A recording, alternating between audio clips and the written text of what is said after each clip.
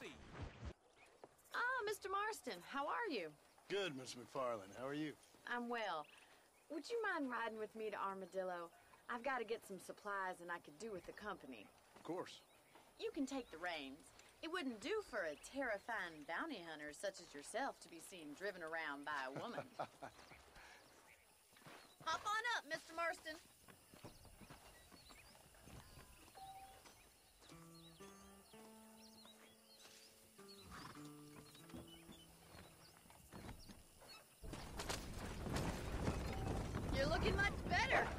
Considering you were almost buttered food a couple days ago.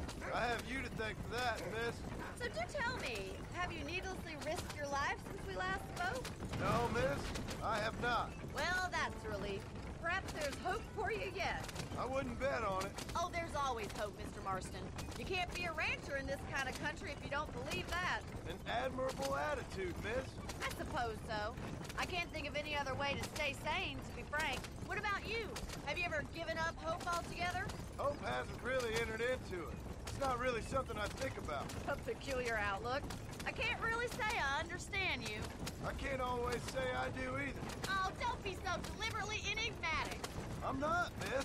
Yes, you are. You are being deliberately obscure as a substitute for having a personality. I just know there are two theories to arguing with women, and neither one works. I'm not even going to dignify that gibberish with a response.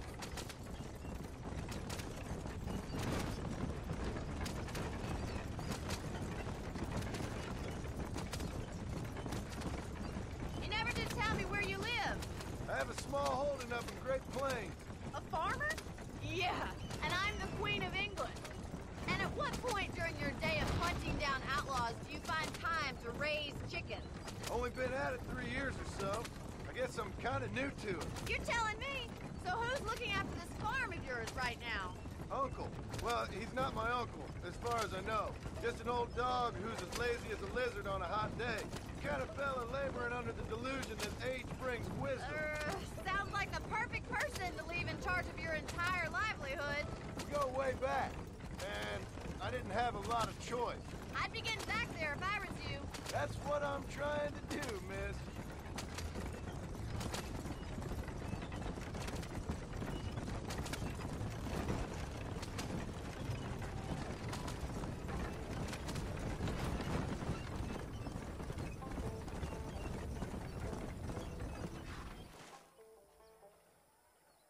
So this is Armadillo.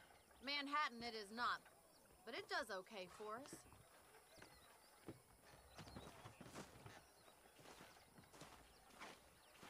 Most important thing for you right now is getting yourself into Dr. Johnson's office to purchase some medicine.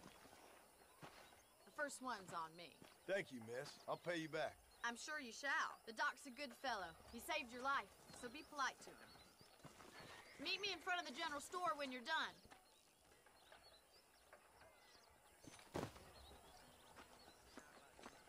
You know Miss Holliker, Bennett's wife? I heard she's a witch. A witch? Maybe it's time I bought a new buggy. Or perhaps a How can I help you? spark. Marshal How are you, mister? I got stock of them electric belts if you need to lose weight. Thanks a lot.